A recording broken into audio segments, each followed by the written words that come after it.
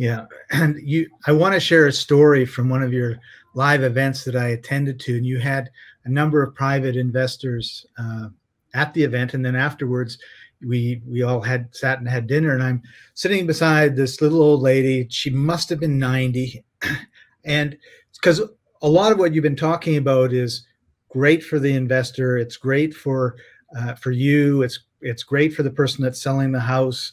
Uh, but one of the things that you never talk about, and I think we should talk about more, is it's also great for the community. And what this lady said really stuck with me. She said, You know, I was watching Jay for years and years and years before I actually gave him my money. And and she said, and, and what I was watching was what he was doing.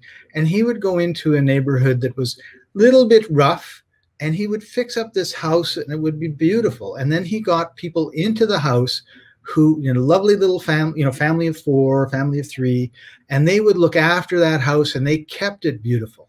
And I saw him improve neighborhoods over and over and over again. And I thought, wow, he's really, you know, giving the community a good service. And I, I think I'm going to give him my money.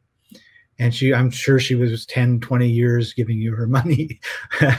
but I'd really, that story really stuck with me, right? It's like, it's because we just talk about rehabbing houses and like, what does that mean? And the houses that I've seen that you've rehabbed, they're beautiful homes and sometimes they're in really nice neighborhoods sometimes they're in a little rougher neighborhoods but how do you improve a neighborhood it's like one house at a time and you're going in and you're doing that and i think you're making a big difference in your community and that's the other really strong benefit of the work that you do in my opinion yeah well and what you just said uh, reminds me of this and that is you know a lot of times what we do real estate investors get a bad rap get a bad name you know, um, out there to take advantage of people, etc.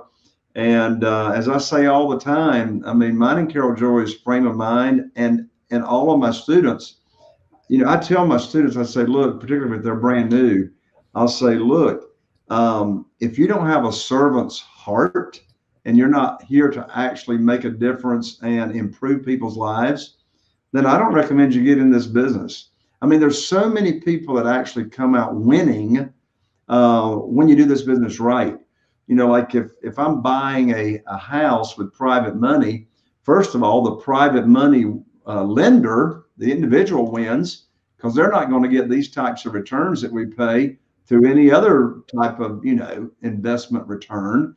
Um, the person that we're buying the property from, they win. They had a problem we were the solution to their problem by being able to buy the property without them having to do anything to it.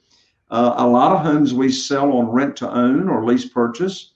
You know, right now, 82% of the population can't even go to the local bank or a mortgage company and get a mortgage. Well, we sell a lot of homes on rent to own to where we actually help the people uh, in credit repair while they're living in the home get ready for a mortgage so they win. We've given them a path to home ownership that they couldn't enjoy any other way. Yeah. And then we, as the real estate investor, we win by being like the orchestra director that uh, makes all this happen. And your community wins because they have a nice home where it was a piece of junk before. Exactly.